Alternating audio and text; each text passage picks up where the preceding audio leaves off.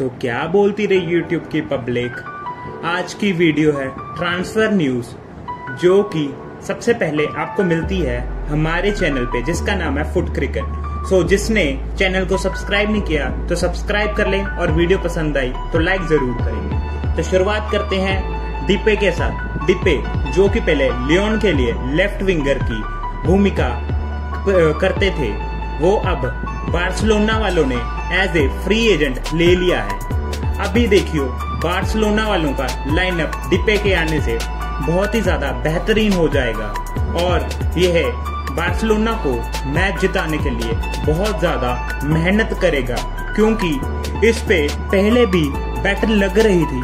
हालाँकि वो तब मिल नहीं पाया डिपे बार्सिलोना वालों को, पर अब मिल गया है। और देखते हैं डिपे बार्सिलोना के लिए क्या कर सकता है। तो अब दूसरी ट्रांसफ़र न्यूज़ है चांगलुलू के बारे में, जो कि बहुत ही बेहतरीन अटैकिंग मिडफील्डर है, जो कि पहले एसी मलान के लिए खेलते थे, उनको इंटर मलान वालों ने पाँच मिलियन में ले लिया है।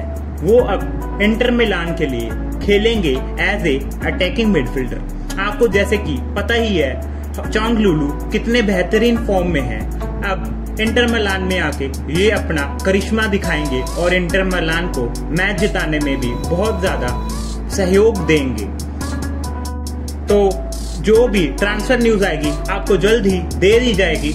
इसीलिए आप हमारे चैनल को सब्सक्राइब कर ले। और हाँ हम बायोग्राफी फुटबॉलरों की और क्रिकेटरों की भी हमारे चैनल पे डालते हैं। कृपया उसे जाके देखें और वीडियो को ज़्यादा से ज़्यादा शेयर करें ताकि आपके दोस्तों तक भी यह पहुँचे और वो भी हमारी वीडियो का आनंद ले पाए।